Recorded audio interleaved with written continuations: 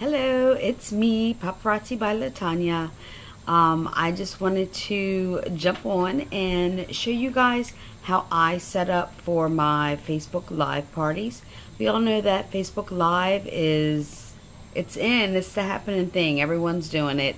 And there are lots of questions that I'm seeing in some of the Facebook groups that I um, belong to, as well as in my own personal team group some people ask um, questions on how they actually how I set up and prepare for my Facebook parties.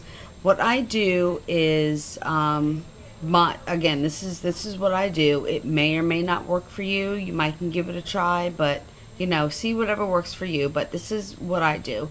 Um, I have pegboards that I used to use when I did my events and everything. What I do is I st fully stock my pegboards um, with the displays and you know whatever I'm gonna show at the for the Facebook party. And what I'll do is as I'm going through and I'll you know hold up my first item and describe it talk about it how gorgeous and beautiful it is and how it looks on you I hold up the number and tell them um, you know if they wanted to comment sold and what number the item is and then I take that item and put it on a second pegboard. So at the end of the party, I've pretty much transferred everything off of the original pegboard. And then my second pegboard is now full of all the jewelry that I showed during the Facebook party and the corresponding numbers. And then that way, um, it's easier for me. It's easy for me to simply go back through and just snatch off once I see, you know, everyone's comments.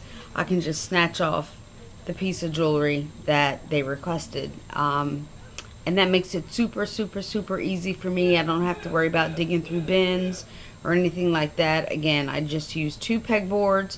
The first one, one is empty, one is fully loaded with everything I'm going to show. Once I show it, I then take that piece of jewelry, the number, transfer it over to the second blank pegboard. And that's pretty much it. I'll leave my, um, my party up for probably about two days total but after the first day I'll comment that you know at this point if you're looking at the video and you see something you like instead of commenting on the video um, because I do get personal messages from people that want certain num item numbers without them actually commenting. So after the first day, I'll just go back and comment on my video that, you know, you can still watch it. You can still place orders or, you know, from whatever's on there, but just to send me a PM to make sure that that piece is still available.